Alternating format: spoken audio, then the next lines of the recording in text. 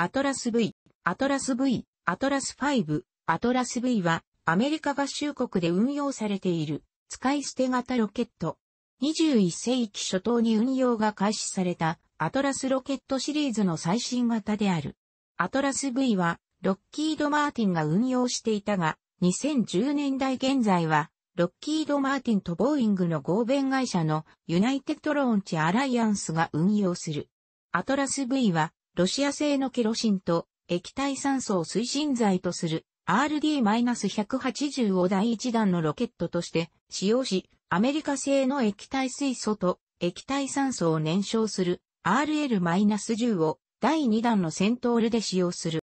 RD-180 エンジンは RD アンロスから供給され、RL-10 はプラットホイットニーロケットダインから供給される。いくつかの仕様では、エアロジェット製の補助ロケットを第1段の周囲に使用す。ペイロードフェアリングは直径が4、または5メートルで3種類の長さがあり、社が生産する。ロケットはアラバマ州ディケーター、テキサス州ハーリンジェン、カリフォルニア州サンディエゴとULAの本社近くのコロラド州デンバーで製造される。2012年6月時点の成功率はほぼ完璧に近い。2007年6月15日に打ち上げられたアメリカ国家偵察局ローノンロール -30 はジョーダンのセントールロケットの燃焼が予定よりも早く停止したために2機の海洋偵察衛星は予定よりも低い軌道へ投入された。しかし、アメリカ国家偵察局ではこの打ち上げは成功に分類されるとしている。アトラス V ロケットの信頼性の高さを武器にロッキード・マーティンは2014年3月、業界で初めて、そして唯一、打ち上げが完全に失敗した場合の打ち上げ費用を100%保証、あるいは再打ち上げするログラムをアトラス V ロケットに導入した。また、米国政府の契約以外の打ち上げであれば、部分的なトラブルがあった場合も、費用の一部を払い戻しすることにした。アトラス V はアトラスシリーズの中で最新の機種である。アトラス E と比較すると複数の変更箇所があり、アトラス E と比較すると再設計に近い。アトラス4は存在しない。アトラス V はアメリカ空軍の発展型使い捨てロケット計画の一環としてロッキード・マーティン・コマーシャル・ローンチ・サービシーズによって開発された。使い捨てロケットとは、どの段も一度しか使用しないことを意味する。打ち上げは、ケープカナベラル空軍基地の第41発射施設とバンデンバーグ空軍基地の第3発射施設から行われる。ロッキード・マーティン・コマーシャル・ローンチ・サービシーズは、アトラス V の世界中の顧客との取引業務を継続する。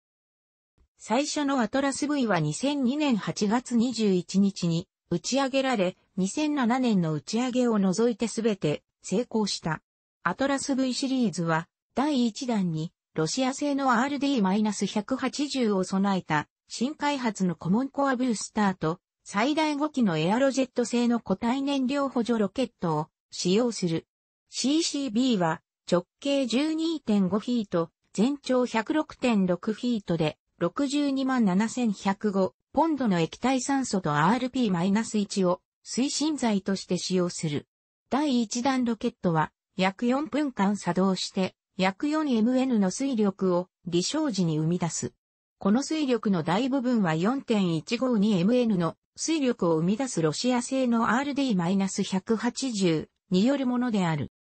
セントール上段エンジンはタンク内を加圧することで維持する設計の低温推進剤のタンクである。アトラス V のセントールは5.5フィート延長され、1機、または2機の RL10A-4 から2エンジンを使用する。それぞれのエンジンの水力は 99.2kN である。RL10A-4 から2エンジンはより信頼性が高く扱いやすく改良された差である。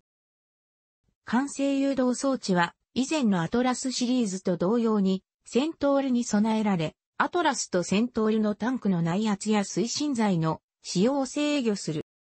セントールのエンジンは宇宙空間において複数回の着火能力を有し、低軌道から静止トランスファ軌道へ投入できる。その後、3度目の燃焼により、静止軌道へ直接投入可能である。セントールロケットは2000年代末現在運用中の液体水素を推進剤として使用するジョーダンロケットの中で総重量に占める推進剤の比率がも高いので、同じ推進剤の量であればより高い軌道にペイロードを投入できる。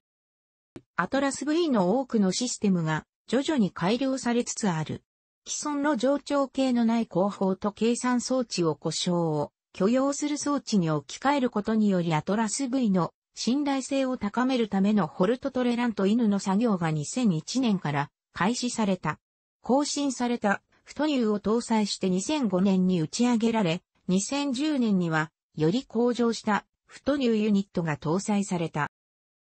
アトラス V が打ち上げた最も重いペイロードはオービタルサイエンシズ社が製造した ISS 無人宇宙補給機シグナス CRSOA-4 打ち上げ自重量で2015年12月6日に打ち上げられた。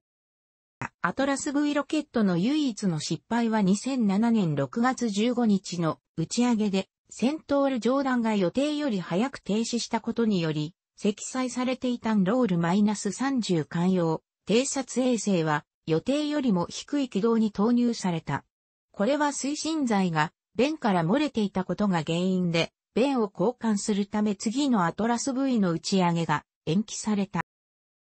アトラス VHLV は3機のコモンコアブースターを束ねることで低軌道へ25トンの投入能力を持つものである。アトラス HLV とすでに使用されているアトラス V 単一コアロケットで約95%の機材の打ち上げ需要を満たすことができる。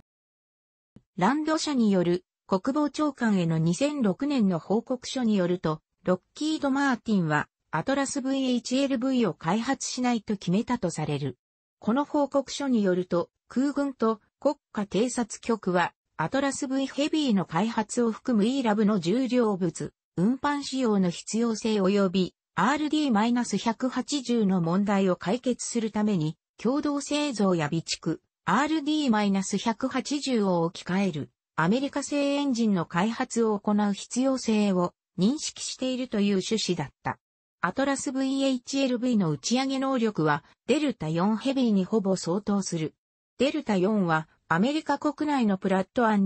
ホイットニーロケットダインによって開発生産される RS-68 エンジンを使用しており、デルタ4ヘビーは2004年から2010年までに4回打ち上げられた。2008年にはユナイテッドローンチアライアンスはアトラス VHLV 使用は顧客から注文があれば30ヶ月で提供できるとしていた。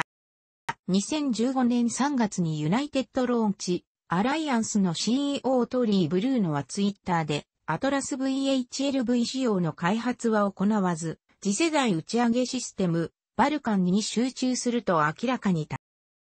第1段に、アトラス V のコモンコアブースター、第2弾に LNG、ロックスを推進剤とする新型ロケットエンジンを使用した GX ロケットの開発がアメリカと日本の共同で行われ、初号機は2012年にアトラス V で使用されるバンデンバーグ空軍基地の SLC-3E 発射台から打ち上げられる予定だった。2009年12月、GX ロケットの計画は中止された。LNG を燃料とするエンジンの開発は他の目的のために継続されている。